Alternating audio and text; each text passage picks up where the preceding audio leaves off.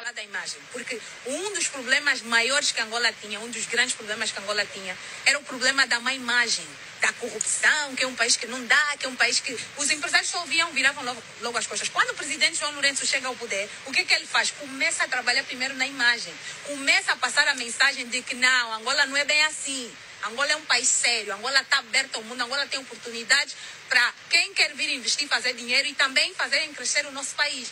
Ele tocou exatamente no, no aspecto mais importante e convenceu o mundo que Angola é um país sério, que Angola está de portas abertas para cooperar com todos, porque ele só quer desenvolver o país e melhorar as condições de vida da nossa população. Pessoal, nós temos aqui a jornalista Ariana Veraz e ela é a correspondente de Angola na Casa Branca. Ela é que dá as notícias sobre o nosso país para a Casa Branca e vice-versa. E nesse momento ela está muito feliz, dando aqui um relatório sobre a visita dos Estados Unidos da América do nosso presidente João Lourenço. Segundo ela, ela deu aqui alguns pontos na sua fala. Esse vídeo viralizou nas redes sociais porque muitos chamam ela de bajuladora, outros, outros criticam. E outros, claro, também estão a favor dela e daquilo que ela argumentou. Segundo alguns pontos que ela destacou, vamos aqui conversar nesse vídeo. Primeiro, ela falou da questão da corrupção. Ela disse que Angola, do mundo inteiro, era visto como um país corrupto e as coisas mudaram com a entrada do novo presidente, João Lourenço. Isso é relativamente verdade, pessoal. Realmente nós temos uma imagem muito suja, principalmente na questão de negócios. Até hoje não tem, não tem, muito, tem muito a se fazer, mas aquela imagem de Angola ser um país 100% corrupto já se foi. E queira ou não, essa é a imagem que o nosso presidente João Lourenço tem de fora. Principalmente depois do, daquela saga do Luanda Leaks, onde se fez uma pesquisa jornalística muito forte e se expôs um dos casos de corrupção que aconteciam no tempo da presidência do ex-presidente, né, uh, José Eduardo dos Santos. E claro, você vai dizer que houve sim interesses políticos, há esse interesse em tudo, mas pronto. Uh, mas aquilo mostrou que naquela época existia muito roubo e Angola foi atrás de pessoas que roubaram o país e, e claro, né, houve aí uma recuperação sim de bilhões e bilhões de dólares. E segundo a jornalista, Angola não é mais visto como um país corrupto. E isso é verdade. Ah, essa é a imagem que o nosso presidente tem de fora. Por dentro pode ser uma coisa ou outra, mas por fora é assim como o pessoal vê o presidente João Lourenço.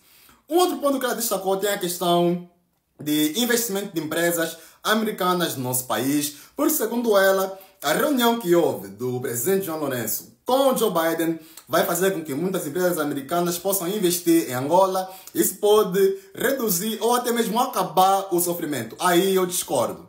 É, porque uma coisa é Angola ter uma imagem limpa, fora tem uma imagem de transparência e outra coisa completamente diferente tem a ver com investimentos em Angola. Porque quando uma empresa investe num país, ela não está preocupada primeiro em saber tanto a questão de corrupção ou não. A primeira coisa é lucro.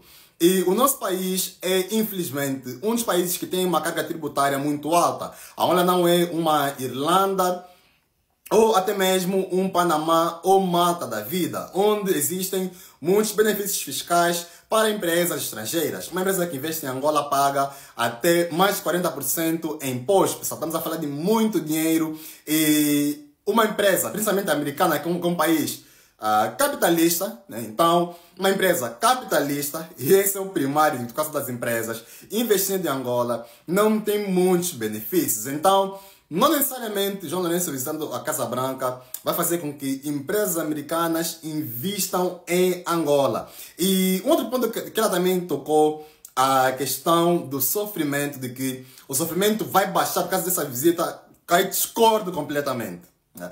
Eu acredito que o sofrimento de Angola, o sofrimento dos angolanos, dos africanos ou de qualquer país do mundo termina com a ação dos, das pessoas locais. Os locais é que têm que trabalhar para acabarem com o sofrimento. Não tem nenhuma empresa americana, não tem nenhum governo americano, ou chinês, ou uh, europeu, não interessa. Yeah.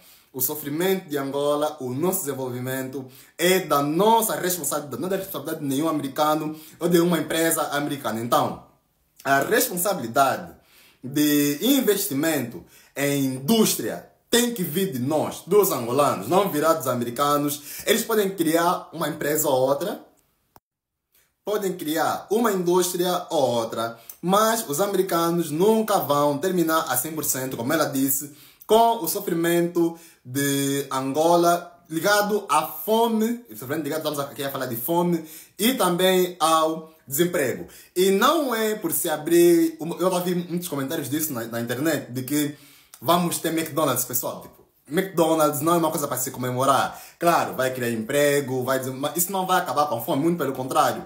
Pode até aumentar o índice de pessoas não saudáveis no nosso país. Vamos ter pessoas muito acima do peso. Isso não é uma coisa para se comemorar. Mas pronto, como é uma, uma cadeia de restaurante que cria muitos empregos, pode sim ser benéfico, mas não é algo que vai acabar com o sofrimento dos angolanos. É para ser McDonald's ou uma outra marca. Isso não interessa.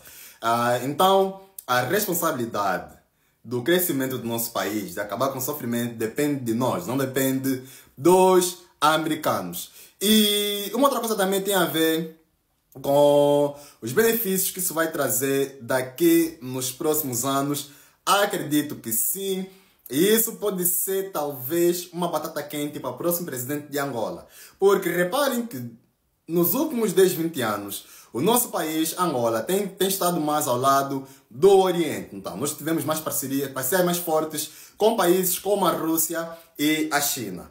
Com o presidente João Lourenço fazendo essa visita oficial à Casa Branca e, e aprovando projetos gigantescos com os Estados Unidos da América, uma forma de Angola dizer, olha, nós agora estamos mais pro-Ocidente, não só em termos de investimentos, como, como também na defesa. Então, já vos falei de, da visita que aconteceu, a visita que aconteceu do secretário de Defesa dos Estados Unidos da América em Angola, onde até uh, tinha muitos rumores da construção de uma base americana no nosso país. Então, essa é uma demonstração da influência crescente dos americanos no nosso país. Então, isso reduz muito a influência do Oriente. E se o próximo presidente de Angola for mais pro-Oriente, ele pode ter alguns problemas, ele pode ser forçado tanto durante a campanha como também na governação, estando mais ao lado do Ocidente, dos Estados Unidos da América. Vamos ver o que vai acontecer nos próximos tempos. O certo é que já se aprovou muitos projetos e vamos ver o que vai trazer de benefício na prática. Uma coisa é uh, reuniões, uma coisa são jantaradas, outra coisa é eles estarem lá aprovar projetos e Outra coisa completamente diferente é colocar aquilo que se, que se teve no papel em prática. E os americanos não têm uma boa reputação nesse sentido de seguirem um projeto até ao fim ou aprovarem um projeto até ao fim. Basta ver o caso do Afeganistão, basta ver o caso da Ucrânia, basta ver o caso do Iraque. Então, são esses alguns exemplos que o pessoal vem trazendo e dizem que não há muito benefício dessa parceria, mas o certo é que isso vai se beneficiar a curto prazo, a curto e médio prazo. A longo prazo vamos ver o que, é que vai acontecer. Eu vou agora vos deixar acompanhar o vídeo completo da nossa jornalista e eu quero ver a opinião que vocês acham daquilo que ela disse. Comenta aqui embaixo, nossa jornalista, né?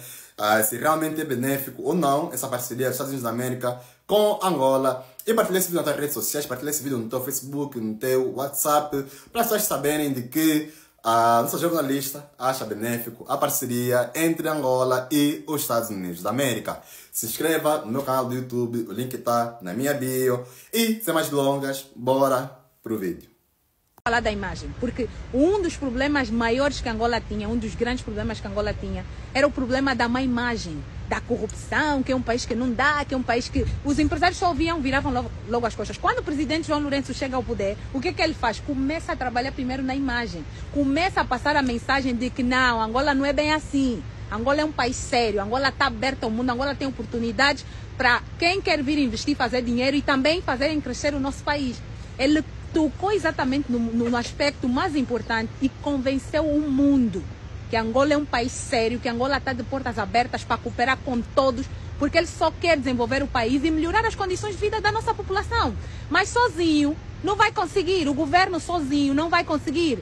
Nós angolanos temos que wake up, temos que acordar, cada um faz a sua parte. Cada um faz a sua parte e fomos. O presidente Biden nos confirmou aquilo que ele tem visto E ele não precisa de bajular ninguém. Come on, isso é os Estados Unidos da América. Se os Estados Unidos da América estão a ver progresso